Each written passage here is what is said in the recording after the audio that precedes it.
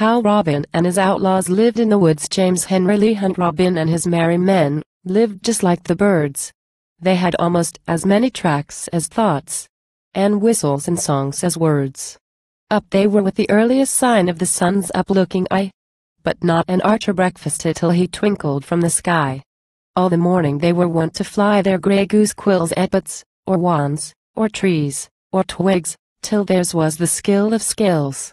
With swords too they played lustily, and at quarterstaff. Many a hit would have made some cry, which only made them laugh.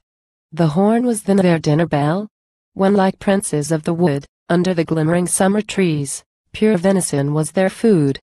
Pure venison and a little wine, except when the skies were rough, or when they had a feasting day. For their blood was wine enough. And story then, and joke, and song, and Harry's harp went round.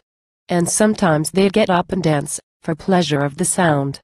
Tingle, tangle, said the harp, as they footed in and out, good lord. It was a sight to see their feathers float about. Dash dash a pleasant sight, especially, if Marjorie was there, or little Sis, or Laughing Bess, or Moll with the clumps of hair, or any other merry lass, from the neighboring villages, who came with milk and eggs, or fruit, a singing through the trees. For all the country round about, was fond of Robin Hood, with whom they got a share of more, than the acorns in the wood. Nor ever would he suffer harm, to woman. Above all, no plunder, were she ne'er so great. No fright to great or small. No, not a single kiss unliked. Nor one look saddening clip. Accursed be he, said Robin Hood. Makes pale a woman's lip. Only on the haughty rich, and on their unjust store, he'd lay his fines of equity, for his merry men and the poor. And special was his joy, no doubt, which made the dish to curse to light upon a good fat friar and carve him of his purse. A monk to him was a toad in the hole, and an abbot a pig and grain, but a bishop was a baron of beef. With cut and come again. Never poor man came for help, and net away denied.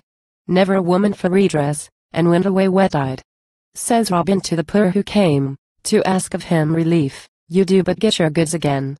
That were altered by the thief. There, plowman, is a sheaf of yours, turned to yellow gold. And, Miller, there's your last year's rent.